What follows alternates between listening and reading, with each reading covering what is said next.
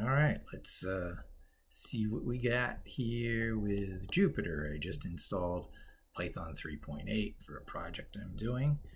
And uh, this is Jupyter running for the first time under it. And I saw a Jupyter 4 version available message on my other machine. So I figured I'd do a screen capture here uh, to see if that message pops up. And I'd answer yes to it.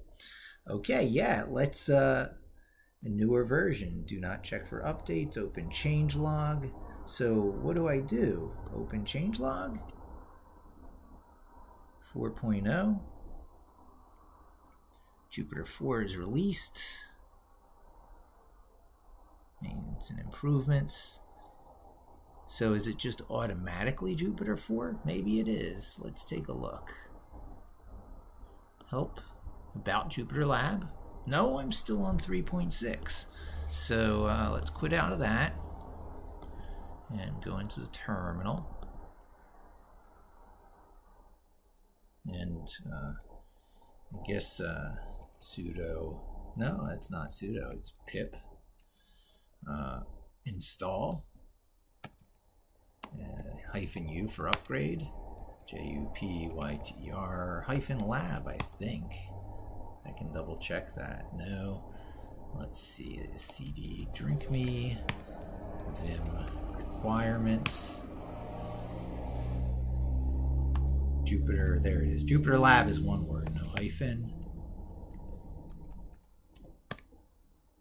Let's see if it gets an update. It says already uh, requirements satisfied. Whew. I do not think this is uh, Oh, but you have Jupyter Lab 4. Look at that. Oh, the spell check requires 7.7.3. That's fine. You know what? I'll take the spell check out for now.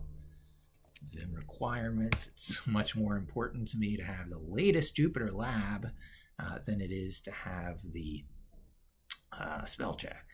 So I scrolled right over it. I think you can comment with that. I don't know. I just put it back in later.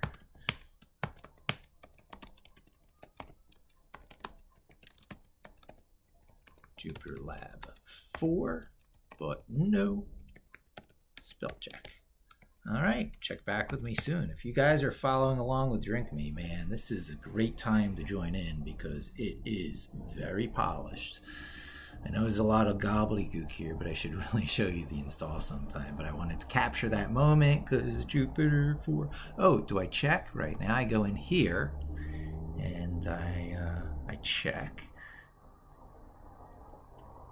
but I just do a pip uh, install hyphen R for this stuff. You can see I was doing a little work with uh, fixing some keys on some deblogging stuff. That's definitely not the subject of this post, but it's fine for you to see that.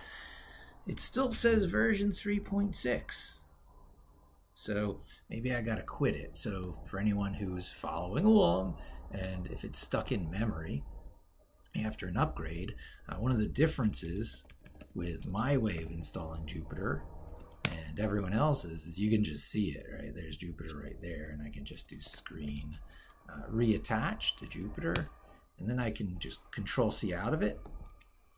Yeah, quit it, right? It's to force quit, and if I do a screen ls again, you'll see it's not there, it's not there, and then it's there again because it's a service. It's a Linux systemd service, and it just pops back up. So Let's now go back over here, pull up Jupyter Lab, and see if uh, if it's a new version. That'd be awesome.